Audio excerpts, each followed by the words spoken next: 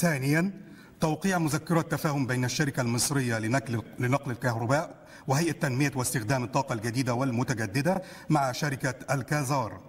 يوقع المذكرة كل من المهندسة منى رزق رئيس مجلس إدارة الشركة المصرية لنقل الكهرباء والدكتور محمد الخياط الرئيس التنفيذي لهيئة تنمية واستخدام الطاقة الجديدة والمتجددة والسيد دانيال كالدرون الشريك المؤسس والعضو المنتدب لشركة الكازار.